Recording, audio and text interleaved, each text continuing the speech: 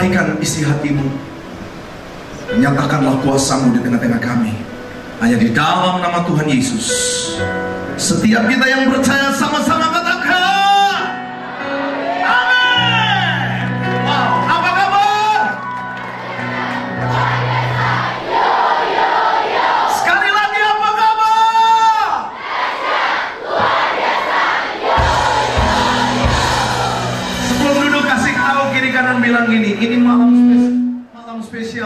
engkau, engkau harus enjoy menikmati kasih Tuhan. Amin. Nah, wow, silakan duduk. Rasa-rasanya kalau boleh itu bisa nggak usah ada apa khotbah kalau boleh. Karena pujian penyembahan menutup semangat kalian semua begitu dengan antusias yang luar biasa. Tepuk tangan dulu buat anak-anak muda di tempat ini. Tepuk tangan buat tim musik, buat semua yang ada di depan ini. Wow, luar biasa. Betapa inilah yang Tuhan nantikan dari generasi ini. Ini yang Tuhan tunggu-tunggu dari generasi ini. Tengok kiri kanan bilang, eh, engkau generasi yang dinantikan Tuhan loh. Kasih tahu, kasih tahu. Engkau generasi yang dinantikan Tuhan. Amin. Saya nggak tahu, tapi ketika lagi duduk di bawah tadi, ketika pujian dinaikkan, ketika melihat antusias generasi ini, tiba-tiba kitab Yoel itu muncul begitu saja di depan saya. Saya tahu ada tema yang dikasih, tetapi tiba-tiba waktu lagi pujian, lagi kalian nyembah, lagi kalian memuji, meninggikan Tuhan, kitab Yoel itu terbentang di depan saya. Apa yang Tuhan sedang bicara tentang kitab Yoel? Alkitab katakan di dalam kitab Yoel pasal 2, Tiuplah sangkakala artinya ada satu bangsa, ada Yang akan membuat perubahan di tengah-tengah bangsa, di tengah-tengah dunia ini. Kitab Yoel berkata, Tuhan sedang menantikan sebuah generasi. Generasi yang membawa dampak yang besar bagi banyak orang. Seringkali generasi ini tidak diperhitungkan oleh orang-orang yang mungkin sudah merasa dirinya lebih pintar. Tapi saya kasih tahu buat kalian, Allah menantikan kalian. Allah menantikan waktunya akan tiba di mana kalian orang-orang yang akan menjadi saksi, menjadi dampak yang besar bagi generasi ini. Amin. Saya mau respon anak-anak generation ini adalah respon yang ketika firman berbicara langsung teriak amin. Amin. Gak usah. Kenapa? Karena Tuhan menantikan kalian. Tuhan ingin berbuat banyak dengan generasi ini. Saya tidak tahu. Saya berada di generasi 90-an. Ketika saya bergerak di uh, tahun itu, itu lonjakan bagaimana lawatan Allah bagi generasi di tahun 90-an. Itu luar biasa dahsyatnya. Masuk di tahun 2000, saya melihat generasi ini menurun. Generasi ini sepertinya kehilangan sesuatu untuk untuk membuat mereka uh, berdampak buat orang lain. Tetapi tiba-tiba masuk di tahun ini, sepertinya Tuhan mau kasih tahu bahwa sudah waktunya generasi ini muncul. Sudah waktunya untuk generasi ini bangkit. Sudah waktunya untuk generasi ini menunjukkan jati diri mereka. Eh, dengar kasih saya, saya kasih tahu buat kalian. Di luar sana, perkembangan zaman, teknologi itu menutup ruang, membuat generasi seperti kalian bisa saja hanyut dan jauh dari Tuhan. Tetapi Allah mengambil bagian di tengah-tengah perkembangan itu Menunjukkan kuasanya buat kalian Bahwa di tengah-tengah perkembangan Dia akan memakai saudara. Dia akan memakai saudara untuk menjadi dampak yang besar Buat banyak orang di tengah-tengah dunia ini. Amin. Yang setuju bilang amin. Itu sebabnya Matius pasal 11 ayat 28 bilang apa? Mari Marilah kepadaku. Amin. Kita punya ayat tema pada malam ini dikatakan di dalam Matius pasal 11 ayat 28 dikatakan, "Marilah engkau yang letih lesu dan berbeban berat, aku akan memberikan kelegaan kepadamu." Kalau saya sambungkan dengan Yoel pasal 2, maka di situ terjadi Allah menunggu generasi ini. Kalau kalian baca sampai habis ke Yoel pasal 2, di situ dikatakan generasi yang Allah nantikan, generasi bukan generasi abal-abal tapi generasi yang membuat perubahan generasi yang berani tab tabrak keadaan artinya bukan kalian melanggar peraturan bukan tetapi generasi yang nggak bisa tahan generasi yang sudah nggak uh, yang yang nggak mau dihalangi oleh apa pun Alkitab berkata di dalam Yoel pasal 2 sampai mereka berani untuk bisa melakukan sebuah tindakan. Saya bermimpi seperti ini. Di Yoel pasal 2 akan muncul generasi yang ketika sudah nggak tahan ketika alam melawan generasi ini, kalian akan berani untuk ada di mana aja, di mall, di jalan-jalan. Kalian akan berani untuk bersaksi tentang Tuhan Yesus buat banyak orang. Generasi ini tidak akan pernah takut lagi. Generasi ini akan bangkit, di mana mereka akan menyatakan kuasa Allah. Bahkan kita mau mendengar berita keselamatan ada di kampus, ada di sekolah, ada di tempat kerjaan, ada di mana pun kalian berada. Suara terdengar dari generasi ini. Ini yang saya tunggu-tunggu. Ini yang saya impikan. Saya baru tiga tahun belajar dengan beberapa uh, hamba Tuhan untuk merintis di daerah Tangerang. Tetapi ketika saya melayani di sana, Tuhan katakan maukah engkau fokus buat anak muda, buat generasi ini. Saya bilang saya udah umur 40, uh, eh, sekarang jalan 46. Gak terasa ya, udah tua ya. Tetapi saya ber, ketika Tuhan kasih tanggung jawab buat generasi umur sebaya kalian, tiba-tiba saya bilang gini kepada ibu gembala saya, Bu, nggak salah untuk kasih kembali saya pegang generasi ini Ibu Gembala katakan bahwa ketika dia berdoa, Tuhan sepertinya mengarahkan kamu untuk tetap tangani mereka. Dan ketika saya duduk dengan mereka, hanya bentang 15 orang. Saya mulai mengajar generasi ini. Tiba-tiba Tuhan ingatkan, kamu harus kasih benih ilahi buat mereka. Kamu harus kasih benih yang aku sudah taruh buat hidup. Hari ini, kurang lebih ada 80 sampai 100 anak-anak generasi seperti kalian yang saat ini terkumpul mereka juga haus dan lapar.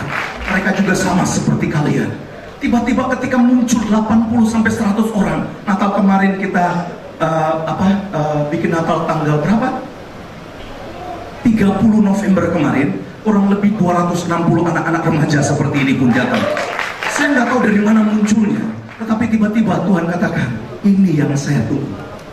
Generasi ini yang aku sedang nantikan. Firman Tuhan saya coba buka di Yoel sesaat. Yoel pasal yang ke Yoel 2 ayat yang pertama dikatakan seperti ini. Saya nggak tahu, tapi ini kuat sekali. Firman Tuhan bilang gini. Yoel pasal 2 ayat 1 bilang seperti ini. Tiuplah sangkakala di Sion. Dan berteriaklah di gunungku yang kudus. Sepertinya ada teriakan dari surga berkata, tiup sangkakala. Sebab generasi ini akan muncul. Generasi ini aku sudah nantikan dari lama. Menantikan mereka. Itu sebabnya Tuhan katakan, tiup sangkakala. Saya berani untuk ambil keputusan untuk menangani generasi ini. Karena saya tahu biar umur, boleh umur 40 ke atas. Tapi saya mau tunjukkan kepada mereka bahwa kalian orang yang Tuhan cari. Oh kalian yang malam hari ini ada, engkau yang Tuhan cari. Amin. Tuhan katakan, ayo tiupkan sangkakala. Beritahukan bahwa generasi ini Allah sedang menanti. Allah sedang menantikan kalian. Allah ingin berbuat banyak dengan kalian. Saya ketika diajak untuk anak-anak bilang anak-anak youth yang ada, ini ada anak-anak boom di sini. Nama generasi youth itu adalah boom, bengkel orang-orang muda. Kalau udah bicara bengkel, ketika saya kasih nama bengkel, saya bilang begini, dulu saya hancur, dulu hidup saya berantakan. Tapi ketika Tuhan izinkan untuk membangun generasi, saya kasih nama Bu, bengkel orang-orang muda. Yang rusak anak-anak muda yang mungkin gak dianggap, gak dipedulikan, gak, di, gak di, dipedulikan lagi lah, pokoknya udah hancur hidupnya. Saya bilang masuk dalam bengkel. Seperti bengkel mobil. Yang rusak masuk bengkel. Pastikan bahwa ketika engkau keluar, engkau siap dipakai. Amin. Jadi ketika saya mengajak mereka masuk dalam wadah bengkel orang-orang muda, Tuhan kasih mimpi bahwa lihat orang yang ada di depanmu, orang yang malam ini pun saya tatap. Mungkin mereka orang-orang yang tidak dianggap, mungkin orang-orang yang tidak di, diperhitungkan. Tapi jikalau mereka nanti setelah Allah memperhitungkan dengan waktunya Tuhan, mereka akan muncul seperti fajar. Mereka akan membentangkan kasih Tuhan buat banyak orang. Mereka akan berdampak di sekolah, di kampus, di tempat kerjaan, di mana pun. Mereka akan membuat perbedaan. Amin. Itu sebabnya malam hari ini Tuhan katakan, tiuplah sangkakala di Sion. Teriaklah. Saya tidak mau diam-diam dengan generasi. Kalau generasi ini ketika orang bilang di luar, eh itu anak itu bandeknya minta ampun. Itu di sekolah udah gak bisa dididik. Itu di rumah orang tua sudah tidak tahu lagi mau urus seperti apa? Saya tidak bilang mereka datang ke bengkel, tapi saya tatap dia. Saya kasih tahu kepada dia, engkau punya masa depan. Engkau punya pengharapan di dalam Tuhan. Sebagai kakak-kakak pembina, sebagai saudara-saudara yang sudah mungkin ambil bagian dalam generasi ini, ayo beri hidupmu buat mereka. Kasih hidupmu buat mereka. Mereka butuh figur, mereka butuh yang namanya ada seorang kakak rohani, bapak rohani yang berani memberikan hidup buat mereka. Itu cukup buat mereka. Dan ketika saya memperhatikan anak salah satu anak yang katanya paling bandel itu, hari ini dia menjadi orang yang berani untuk membayar harga, berani untuk berkorban. Natal kemarin dia bilang, kak saya mau ke sekolah-sekolah, saya mau kasih undangan, bahkan saya berani untuk bawa berapapun jumlahnya, saya mau bawa itu. Siapa yang sangka orang yang tidak dianggap orang yang dikatakannya bandel, orang yang dikatakan nggak nggak mau di, gak dipedulikan lagi sama orang tuanya, tapi dia membuat perubahan karena ada Kristus dalam kehidupannya, ada perubahan dalam kehidupannya. Kita yang harus meneri, meneriakan, kita harus meniup sangka kala di Sion buat mereka. Lalu ayat ini berkata selanjutnya, dikatakan, biarlah gemetar seluruh penduduk negeri.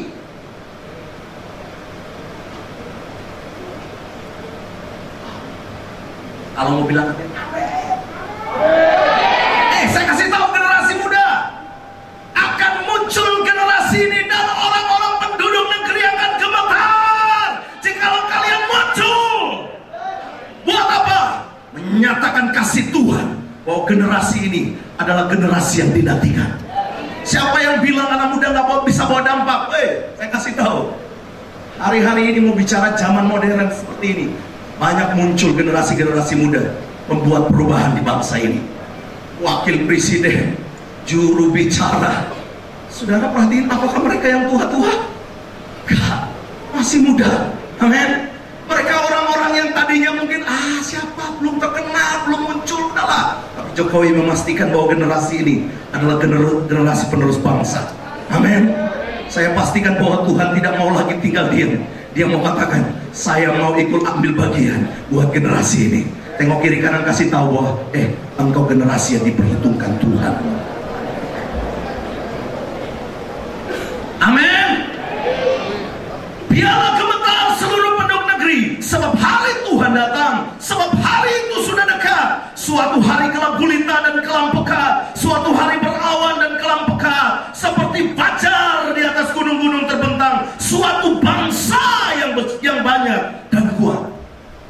Suatu bangsa yang banyak.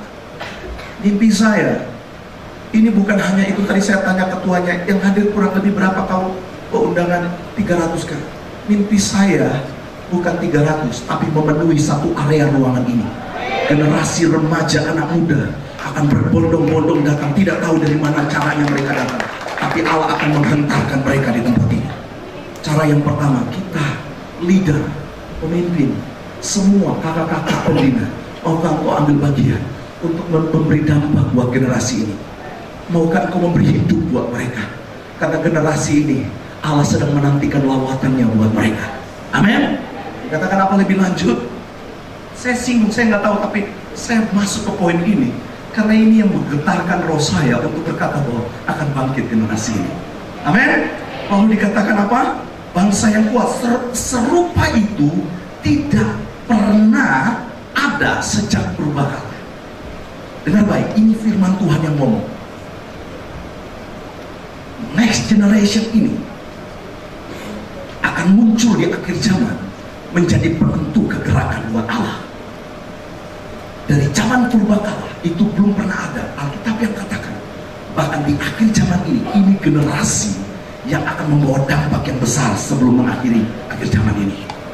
Itu sebabnya jangan pernah meremehkan hidupmu. Engkau itu berharga di mata Tuhan. Engkau bernilai. Nah nilaimu itu mahal karena Allah perhitungkan. Saya bertobat tahun 89 saya tidak pernah membayangkan bahwa saya berdiri di mimbar ini dan menatap kalian atau berbicara buat kalian. Umur sebaya kalian, saya ada di pinggir jalan. Umur sebaya kalian, hidup saya hancur. Orang tua, papa mama cerai. Mereka seenaknya saja. Habis punya anak, anaknya dibuang begitu saja. Dan anaknya nggak dipedulikan. Saudara, Saya nggak punya pengharapan saat-saat seperti itu. Saya nggak punya mimpi untuk punya punya masa depan. Gak. Yang ada adalah saya tidur di emperan toko, saya kerja sekeras apa pun di masa remaja, saya dapat duit, saya bisa makan, itu sudah alhamdulillah katanya. Saya tidak pernah membayangkan bahwa saya bisa punya segala-galanya. Saya bisa punya rumah, saya bisa punya istri, nggak pernah terlintas dalam hidup saya.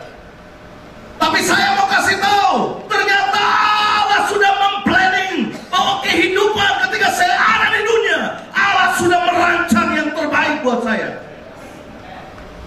Sehingga sekalipun proses dalam hidup berjalan, saudara, mungkin saya pernah ngomong di tempat ini, ketika saya buat hidup kesaksian hidup saya di solusi, generasi kalian nggak tahu solusi mungkin, tetapi saya pernah buat itu di TV, saya kasih tunjuk tentang hidup saya. Saya tidur di emperan toko makan pokoknya orang lagi makan di tempat sampah itu buang itu di Solo kejadiannya ada orang Jawa di sini Solo sini. Nah saya lama di Solo loh. Jadi ini Ambon tapi kalau lo katanya bisa Solo. Sidi-sidi ya. Nah di Solo hidup hidup saya lebih hancur. Dari Ambon ditaruh di Solo pikirnya akan dapat uh, apa kesejahteraan akan di, akan dipelihara oleh orang tua angkat dengan baik. Tapi kenyataannya itu anak muda Ambon ini tidur di emperan toko. Yang lebih parah lagi dalam hidup saya, bahkan makan aja nggak punya duit, sampai orang buang nasi. Nah kalau di Solo itu makan nasi pakai daun. Jadi kalau habis nasi kucing ya, ya sekarang ya terkenalnya ya. Nah saya kalau makan itu tuh nasi kucing daun ada daunnya itu. Nah sekali waktu saya nggak punya duit, saking saking nggak ada duit Orang makan nasi pakai daun di situ, buang di tempat sampah masih ada sisa. Ini ini real. Saking lapar saya ambil itu nasi dari tempat sampah. Saya buat itu dalam solusi kehidupan. Saya buat itu di TV. Oh, orang yang namanya Yohanes Watimena yang berdiri depan kalian, dia pernah ada di masa-masa yang hancur, masa-masa yang enggak bagi bagi orang mungkin ah, mungkinlah ada seperti ini. Dia makan di tempat sampah, orang yang makan itu pergi, saya ambil lalu saya makan. Di titik saya makan seperti itu, saya bilang, apakah hidup saya seperti ini? Apakah saya harus seperti ini? Saya bicara tidak dengan orang siapa-siapa, tapi sepertinya saya sedang menuduh kepada diri saya, apakah saya hidup seperti ini? Tapi di tengah-tengah saya ngomong seperti itu, saya tahu ada pribadi yang gak kelihatan mendengar suara saya. Saya katakan Tuhan, saya dilahirkan bukan untuk makan sisa-sisa nasi di tempat sampah. Tapi saya percaya engkau melihat kerinduan hatiku. Aku datang ke Pulau Jawa, aku ingin untuk ambil bagian. Saya nggak tahu bagaimana, tapi mimpi saya Tuhan angkat dan pulihkan saya. Saudara, panjang ceritanya. Tetapi intinya Tuhan gak tutup mata untuk hal itu. Tuhan gak diam. Ada banyak cara Tuhan untuk membawa anaknya sampai kepada tujuan. Tahukah kalian kisah Yusuf?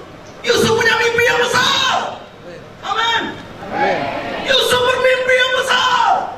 Tapi apakah hari itu dia langsung dapat mimpi yang besar? No. Dia harus melewati masa-masa yang sulit. Tapi Allah tetap punya rencana dengan dia. Allah akan bangkitkan generasi generasi Yusuf untuk bisa menentukan pergerakan buat bangsa Israel. Tahukah kalian kisahnya? Ketika mimpi yang besar yang ada Yusuf ada di, di sumur, bukan hanya di sumur seorang diri. Alkitab berkata dia dijual. Orang tuanya kakak-kakaknya nggak peduli. Yang penting bukan lu, tapi kakak-kakaknya ingin mendapat tempat yang baik. Tapi Tuhan tetap punya rencana buat Yusuf. Sekalipun dia, dia ada di, di dalam sumur, dijual, lalu lebih lagi sudah masuk kerja di tempat orang-orang yang berada, di tangkap di situ malah di dituduh bermacam-macam. Bukan hanya tuduhan masuk penjara pula saudara anak muda dengar baik eh saya kasih tahu buat kalian malam hari ini mungkin kalian kalian bilang ini kak saya nggak tahu saya lahir dari keluarga yang biasa-biasa kak orang tua saya nggak seperti orang tua teman saya dia punya segalanya saya nggak punya apa-apa tapi kok saya cinta Tuhan Allah siap memakai engkau. Allah siap mewujudkan rencananya buat kalian. Allah nggak peduli dari mana engkau berada. Yang Allah perhitungkan, engkau mau berkata, iya ini saya. Maka Tuhan siap melawat engkau. Amin. Tidak pernah dibayangkan orang yang tidur di emperan toko yang keluarganya hancur, yang makan di tempat sampah, hari ini berani ada di tempat ini, dan berani berkata, hanya Yesus satu-satunya pengharapan buat kita. Allah tepuk tangan, tepuk tangan.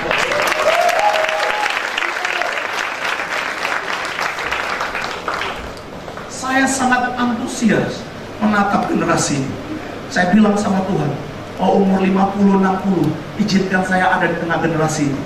Sampai Tuhan panggil saya, tutup mata saya tetap melihat generasi ini. Yang saya tahu bahwa kalau generasi ini muncul, mereka membawa dampak dan membawa membawa perbedaan di Indonesia. Waktu ditanya, itu anak-anak muda dari mana? Oh, itu gerakan anak muda yang ada dari GBI Bethlehem. Yang tua perubahan. Caranya bagaimana? Waktu mereka mendapat benih ilahi dari setiap pertemuan di anak muda di sini. Waktu mereka ada di posisi menjadi mungkin direktur di sebuah perusahaan, tetapi berdampak di perusahaan itu. Waktu mereka lagi di kampus, mereka bukan sekedar bersekolah, tapi roh mereka menyala-nyala dan tidak mengizinkan satu orang di kampus mereka untuk tidak diselamatkan, tapi kalau bisa semua diselamatkan.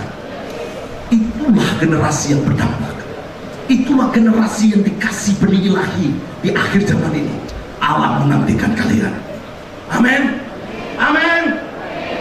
Saya kembali kepada Matius pasal, pasal 11 ayat 28 tadi. Maukah aku menerima panggilan ini? Maukah kau berkata, ya saya, saya orangnya. Yang tadi Kayaknya katakan mungkin kau berkata, Kak, apa bisa Tuhan pakai saya? Saya sekolahnya aja, nggak lulus. SMP coba. Eh, saya kasih tahu ya buat kalian nih, ini yang berdiri di depan. Lulusan secara resmi itu SMP dan itu belum selesai. Ah, mulai. Oh, bisa? Orang ini nggak lulus SMP. Tengok kiri kanan bilang, aku nggak percaya tuh yang bapak yang apa kakak yang ngomong di depan. Masa sih? Real kenyataan, saya nggak lulus SMP. Tapi kalau saya bisa di depan kalian, itu kemurahan Tuhan. Sekarang saya kuliah teologi. Bagaimana caranya? Saya sendiri juga nggak tahu caranya. Yang saya tahu cara Tuhan yang bisa lakukan. Ada sekali waktu, sekali waktu. Apakah kalian, saya mau tanya, orang yang lulus SMP seperti itu kalau urus urus paspor, urus mau keluar negeri, mudah? Kalau nggak ada surat lengkap, betul? Ijazah juga penting, bukan? Saya waktu ketika saya mulai remaja dan tiba-tiba masuk di sebuah grup namanya White mereka ingin pelayanan keluar. Sekali lagi, saya tidak punya ijazah lengkap. Tapi ketika saya diajak untuk membantu pelayanan di luar, saya hanya bilang gini, kalau Tuhan izinkan, saya akan masuk ke imigrasi, nyerahin seperti prosedur yang ada. Bapak Ibu tahu, saya dari GBI, lulusan ada dulu namanya SOMPA, Sekolah of Ministry. Saya punya lulusan itu. Lalu punya KTP. Ini ini benar, real. Tapi jangan coba-coba kalian urus pakai itu sekarang di imigrasi. Bisa ketangkap dan jangan bilang, saya mau coba seperti kayu Yohanes. Beda, urusannya beda. Saya pakai SOM, lalu pakai KTP. Saya urus namanya paspor. Singkat cerita, itu kok bisa dapat, nggak pakai nyokok. Yang saya tahu, waktu saya berhadapan di loket, yang saya tahu, saya sodorkan itu. Lucunya, orang di dalam terima aja. Terima begitu aja, lalu dia suruh ke belakang foto. Dulu itu masih ada foto, ya itulah. Pokoknya ngikut, lalu nanti balik tiga hari apa? Suruh balik, lalu bayar segala macam. Sampai saya pegang paspor, saya masih belum percaya kalau saya dapat paspor dengan hanya apa tuh ijazah som sama KTP. Makanya saya bilang, kalau bukan Tuhan yang bekerja, bukan Tuhan yang punya rencana buat anak uh, si Yohanes yang tidur di emperan toko ini, mungkin hari ini saya belum bisa urus paspor itu. Tapi saya mau kasih tahu, kalau Allah sudah berencana dengan generasi ini, dia akan tuntut dengan cara apa pun sampai kepada tujuan. Yang setuju bilang amin. Yang setuju katakan amin. Apakah kalian siap? Berapa banyak yang siap berkata Tuhan aku siap kalau engkau pakai saya di akhir zaman ini. Amin. Mau terima tantangan ini? Tuhan berkata, marilah kepadaku. Mungkin engkau tadi sudah berkata, kak nggak mungkin kak, saya orang. Eh Tuhan katakan mari. Kalau engkau berkata aku, engkau sedang mengalami yang namanya letih lesu. Tuhan katakan, no. Itu kata orang. Aku mau buat engkau menikmati. Aku mau buat engkau enjoy dalam panggilanku.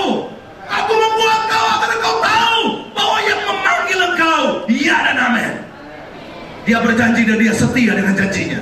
Amin. Waktu ketika saya masuk dalam sebuah pelayanan seperti ini, dulu saya pikir seperti apa? Mau jadi apa? Gak punya ijazah, berdiri di depan mau ngapain? Mau ngapain? Tiba-tiba Tuhan Tuhan ingatkan kisah ketika Tuhan tanya kepada Musa, Musa, Musa bilang kan waktu Tuhan ajak dia, Tuhan saya nggak pandai, Tuhan saya nggak bisa ngomong, Tuhan saya nggak bisa A, nggak bisa C, nggak bisa semua. Tapi tiba-tiba Tuhan bilang, apa yang ada padamu? Lalu Tuhan Musa bilang, aku nggak punya apa-apa, tapi yang ada padaku adalah tongkat. Oh itu cukup. Tuhan gak minta banyak. Tuhan gak minta kelebihanmu. Tuhan gak minta kau punya kelebihan apa no. Tapi Tuhan tanya apa yang ada padamu. Yohanes menjawab, Tuhan, saya nggak punya kepintaran untuk bisa berdiri depan memimpin banyak orang, tapi saya punya suara. Saya bisa bernyanyi. Lalu Tuhan katakan, mau kau kasih suara itu untuk aku pakai buat kemuliaan. Saya bilang, detik ini ketika Tuhan minta saya kasih suara saya buat. Makanya kenapa saya tidak pernah turun dari mimbar? Karena saya tahu itu panggilan besar. Orang lain berkata, kejar PK di balik semua pelayanan worship leader. Kalau engkau dipanggil, engkau tidak akan pernah hitung-hitung dengan PK. Karena engkau tahu engkau dipanggil. Waktu Allah memanggil engkau, tetap berdiri di hadapan Allah. Allah yang akan memelihara engkau. Jadi kalau malam hari Tuhan tanya kepada kalian, maukah engkau ikut dengan aku? Maukah engkau menerima tantangan panggilanku? Kalau engkau jawab ya, mungkin engkau masih masih berkeluh kesah. Tuhan, siapa saya? Saya nggak punya A, nggak punya B. Kawan, Tuhan nggak minta yang kelebihan dari kalian. Yang Tuhan tanya, apa yang ada padamu? Siap menjawabnya, amin? Ayo bangkit berdiri sama-sama. Wow. Saya minta pemusik maju ke depan. Saya tidak perpanjangkan firman ini, tapi saya mau agar engkau menangkap panggilan ini. Berapa banyak yang malam hari ini berkata bahwa, Kak, saya mungkin orang yang sudah tidak tahu lagi tujuan hidup saya. Kak, saya nggak mengerti lagi apakah benar malam hari ini saya ada di tempat ini karena Tuhan panggil. Tundukkan kepala kalian sama-sama. Ada suara dari surga berkata, Tiuplah sangkakala di Sion, berteriaklah di gunungku yang kudus. Akan datang suatu bangsa yang besar, yang kuat dan banyak. Mereka akan bermunculan di akhir zaman ini. Tidak tahu dengan cara seperti apa mereka datang. Tapi aku akan mengirim mereka dari timur, barat, utara, selatan. Datang untuk mendengar janji Allah dalam hidup mereka.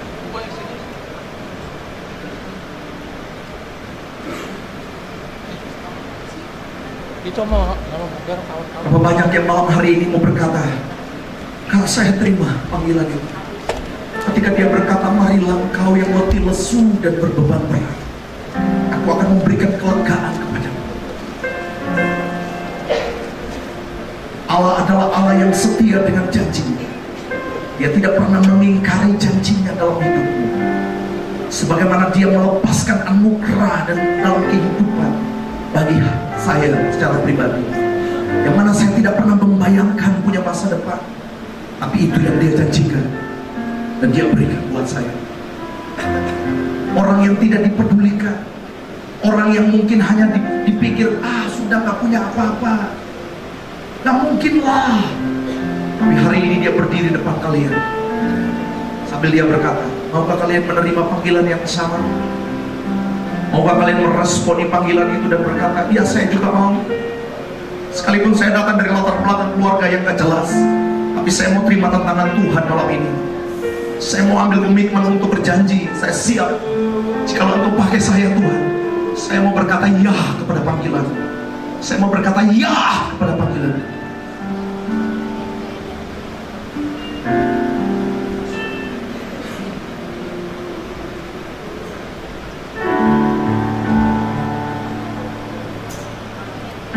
Siapa yang malam hari ini yang mau berkata saya mau ya Saya tidak peduli dari mana saya berada, tapi saya mau memenuhi panggilannya.